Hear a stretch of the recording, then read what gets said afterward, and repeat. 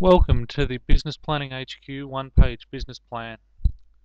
HyperQuestions are a set of dynamically generating questions that help you answer the key strategic issues associated with your business and we use those answers to generate your one-page document. The process takes about 5 to 10 minutes to complete as opposed to um, hours under a traditional uh, technique. So here's how it works. It's simply a series of questions uh, with answers that you'll fill in. So we'll uh, we'll just do a, a quick one here. Um, and email address. So your file is emailed to you once uh, you're completed. Uh, choose your country. We use this to guide some different questions. So uh, I'm in Australia.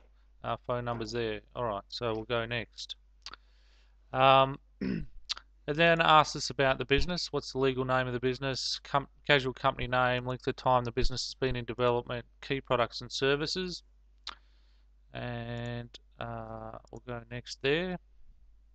And if we forget to enter anything, it'll come up with an error in association with that. So, um, Mission HQ, casual company name, business planning HQ, and length of time the business has been in development.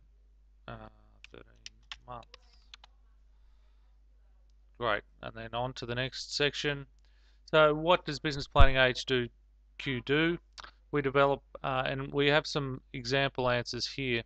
This is starting to use a concept we call lead-in text. Uh, so you don't re-enter the we, um, you just follow on from that. So what does Business Planning HQ do? We facilitate the creation of better business planning documents by a range of startup and existing businesses, uh, etc. And it goes through a range of about 18 questions and at the end of that uh, your results will be formatted into a PDF document and emailed to the email address you enter at the beginning of the tool. So give it a go. The one-page business plan um, is a good introduction and cost-effective introduction to HyperQuestions and uh, which is the technique that we use in the complete 40-page business planning tool. Thanks and good luck with your business.